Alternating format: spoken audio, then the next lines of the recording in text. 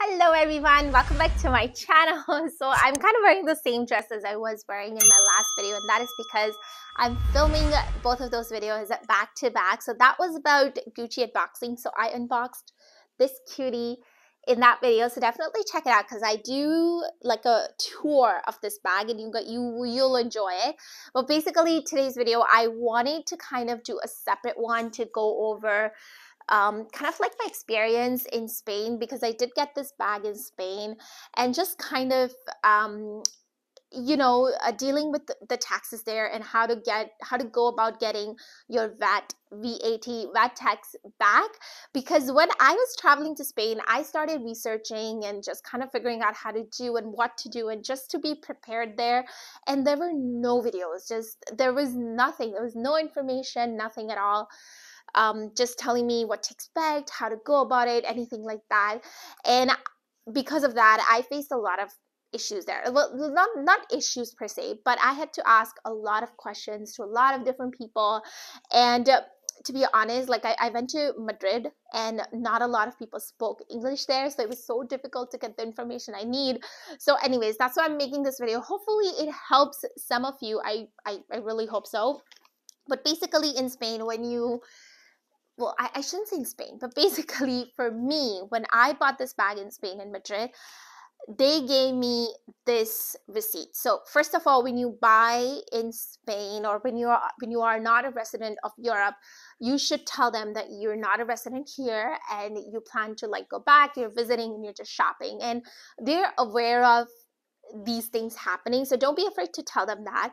And as soon as you'll tell them that, they will give you like a separate, different type of receipt, which is going to have taxes calculated separately. And it'll tell you, like in a section, this is how much you can expect to get back when you are leaving Europe. So keep in mind that if you guys are kind of staying in Europe and going from one country to another, you can't really get your VAT tax back until you completely leave Europe and go to your basically home country. Now, when you are kind of leaving Europe and going to your home country, one of the things you want to keep in mind is that you want to go to the airport super duper early, okay? So I went to the airport like, I don't know, like four hours before my actual flight because I want to make sure that I have plenty of time to get my money back. So, anyways, you're gonna check in, you're gonna go through the security, and then after that, um, the way it worked in Spain on the Madrid airport is there are like a lot of different kiosks which kind of there are agents there and they deal with VAT taxes. Now, the thing is, these booths are really, really busy. So there's there's a lot of line at these booths and each person takes a really long time. Now, I don't know why, but the booth I was at, every single person was like redeeming multiple things, I, I think, and it was just taking a really, really long time. And before you actually go and stand into one of these booths, you actually have to stop at a little machine, and these machines are everywhere. So on in Spain uh, at the Madrid airport, I had to actually before stop at this machine, this this computer machine, and then you tell the machine that you want to get your VAT tax, and it would ask you like a few questions.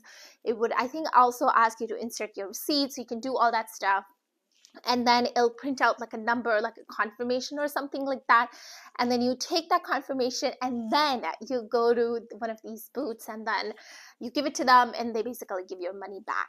So the mistake that i did is i didn't know that you're supposed to be actually stopping at these computer things and like you should get your confirmation before you actually go to the booth. So i wasted time. I went to the booth first I stood in a long line, and then when my turn came, um, you know, the lady at the booth, she's like, "Okay, where is your confirmation?" And I was like, "What do you mean?" Um, and she's like, "Did you stop at one of the computers?" And I was like, "No." And then she's like, "Okay, well, you got to go back and you got to stop at the computer, get the like the the receipt, and then come back to me." So I was like, "Okay." So then basically, I was bumped off the line, and then I went to the computer I got my confirmation and then I went back to the booth and I had to once again wait in a really long line and I was just kind of freaking out because like my flight time was approaching and it was it was just a mess. But here's a tip for you. Go early and before you stand at one of these booths, just make sure you get your confirmation. Now this was at the Madrid airport. I don't know if it is same kind of deal at all the other airports if it is and if you guys have experienced anything like that definitely let me know in the comment box down below because i'm really really curious because obviously like sometime i'm definitely going to be traveling back to europe and i'm going to be buying something anyway so it would be nice to know. But yeah then basically when you get to the booth um, you give them your receipt you give them your confirmation and then they would ask you if you want your refund or in cash or you want it back in the card or if you want it in euro if you want it in usd so I opted for cash, obviously, because I was like, just give me my money back right now. So I went for cash and I went for USD. Um, and yeah, they basically gave it to me. And the only thing you want to keep in mind is remember how I told you earlier that in your receipt that you'll get from the place where you buy your goods, it'll tell you how much tax to expect at the airport. When you actually go to collect your tax, it's gonna be less than that. So I was actually really surprised because when they gave me the tax back, they gave me actually less than what I was expecting. And I asked her, I asked the lady about it, that I'm actually expecting this much, but you're giving me this much. And she said, that is because all these booths they charge their fee. So they charge you for get, doing this transaction for them, like for you. So basically, they would charge you. It's their fee that you have to pay them for doing the service for you. And that's why I got a little bit less than what I was expecting. She did give me another option of um, sending my documents in to the government or something like that and then get my refund back via mail a few days later and i just didn't want to get into all of that i was like i don't know what, what will happen once i leave uh, Spain. I don't know if I'll be able to get my money back. Like, I, it was just so much uncertainty there. So I didn't want to deal with it. So I was like, whatever, just charge your fees and give me back my money. That's all it matters. I'm just happy that I got my bag. So, anyways, I paid them the fees and she gave me cash back and I came back with it. So that was basically my whole experience.